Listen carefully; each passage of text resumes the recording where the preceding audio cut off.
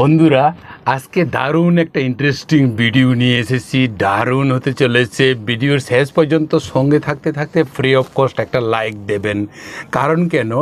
আজকে যে পাখিটা সম্পর্কে বিস্তারিত তথ্যগুলো নিয়ে এসেছি, সেটার নাম হচ্ছে কোকো পাখি। এই কোকো পাখি সম্পর্কে আপনিও নিশ্চয়ই অনেক কিছু জানেন। তার মধ্য থেকে আমি আজকে একটু স্পেশাল নতুন আপডেটগুলো নিয়ে এসেছি। সেগুলো খুবই ইন্টারেস্টিং যে হবে সেটা চলুন। কথা না বাড়িয়ে আসল কথাটা সম্পর্কে আজকে বিস্তারিত আলোচনা করার জন্য চেষ্টা করি। তাহলে, কাক কিংবা কুকিলের মতো অন্যান্য পাখিরা ভোরবেলায় যতক্ষণ না উঠে, তার থেকেও আগে এই পাখিটা কোকো কোকো সরে আওয়াজ করতে থাকে। অনবরত এই পাখিটা যতক্ষণ আওয়াজ করছে, সেই কথাটা প্রথম প্রথম হয়তো আপনার বিরক্তিকর লাগবে।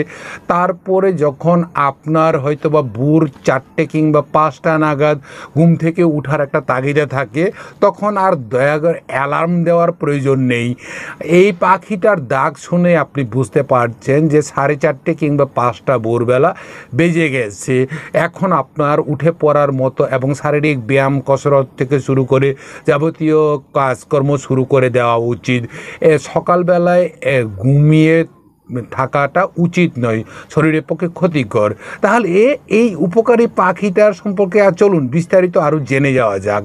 ভোরবেলা কাক কুকিল সহ অন্যান্য পাখিরা যখন ঘুমিয়ে থাকে, তখন কোকো পাখি কোকো কোকো বলে এক নাগে ডাকতে থাকে। প্রায় প্রতিদিনই শুনতে শুনতে বুঝি ভুরে অ্যালার্ম, উচ্চতা বেশি নয়, এই পাখিটার আটচল্লিশ সেন্টিমিটার। ডানার রং খয়েরি, তবে শরীরের অন্যান্য জায়গায় পালকের রং কালো। চোখ দুটো লাল হলেও ঠোঁট ও পায়ের রং কালো। এরা কোকিলের বংশধর হলেও কুকিলের মতো এরা অন্যের বাসার ডিমগুলো খেয়ে নিয়ে ডিম পাড়ার মতো বদ অভ্যাস এদের মোটেও নেই। কোকরা বাসা বাঁধে নিরিবিলি ঘন জঙ্গলে বা বাঁশঝাড়ে মাথার উপর। এদের বাসার গড়ন ও ভিন্ন কাক কোকিলের মতো নয়। এদের বাসার ছাদ এবং ভেতরে প্রবেশ পথ একটাই থাকে। দূর থেকে দেখলে মনে হয় যেন লতাপাতা, ঘেরা, জরু করা খড়কুটো মাত্র, অন্য কিছু নয়। কারণ কেন? এটা মানুষের বা অন্যান্য শিকারীর চোখে ফাঁকি দেওয়ার জন্য এরা এভাবে সেরকম একটা খড়কুটো জড়ো করার মতো করে বাসা বাঁধে। ডানা খুব লম্বা না হওয়াতে এরা বেশি দূর উড়তে পারে না।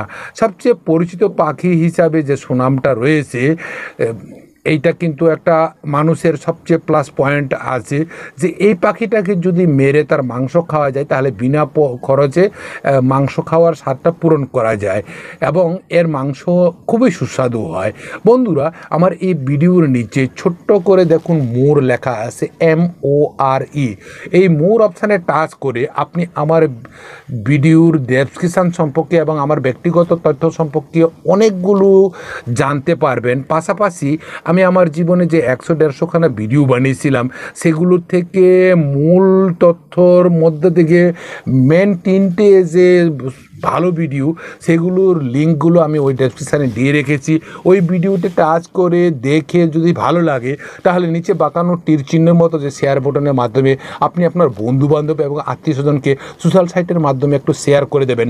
যাতে করে ওনারাও এরকম নতুন নতুন তথ্য পেয়ে খুবই উপকৃত হন। এবং বন্ধুরা, ওই মোর অপশানে টাচ করে ডেসক্রিপশান বক্সে আমার সোশ্যাল সাইটের ফেসবুক ইনস্টাগ্রাম টুইটার সহ অনেকগুলো গুরুত্বপূর্ণ তথ্যগুলো কিন্তু আপনি পাবেন। তাহলে এই তথ্যগুলো কিন্তু আপনি জানতে পারবেন।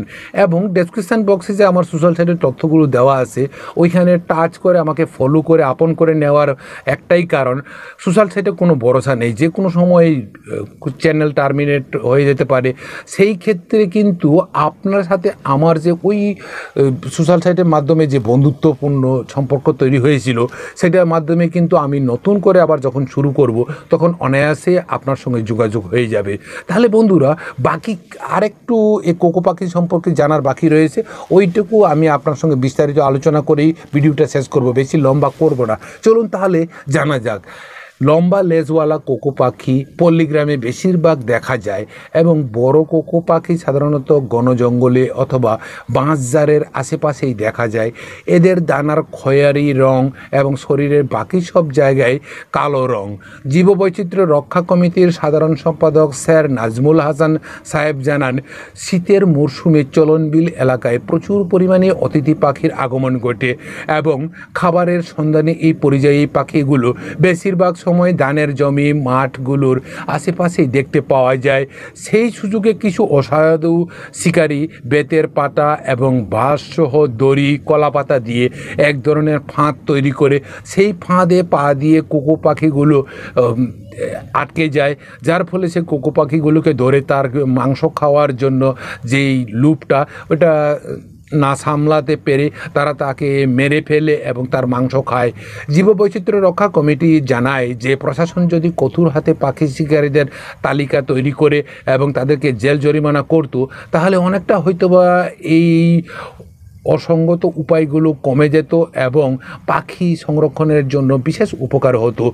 বন্ধুরা, আমার এই ভিডিওর ঠিক নিচে অল্প ডান দিকে সাবস্ক্রাইব বাটনটা রয়েছে। যদি আপনি এখনও আমার চ্যানেলটাকে সাবস্ক্রাইব না করে থাকেন, দয়া করে ওই সাবস্ক্রাইব বাটনে টাচ করে আপনি আমার চ্যানেলটাকে সাবস্ক্রাইব করে আমার পাশে থাকুন। যাতে করে ভবিষ্যতে এরকম দারুণ দারুণ ভিডিও, তথ্যপূর্ণ বহুল ভিডিও আমি নিয়ে আসব। সেগুলো কিন্তু অনায়াসে আপনি পেয়ে থাকবেন। সুতরাং ওই সাবস্ক্রাইব বাটনটাকে টাচ করে পাশের ঘণ্টা চিহ্নটাকেও অল টিপে নেবেন। তাহলে বন্ধুরা, এরকম ভালো ভালো ভিডিও আসা অবধি নিজের শরীরের উপরটি একটু যত্ন নেবেন, ভালো থাকবেন জয় হিন্দ জয় ভারত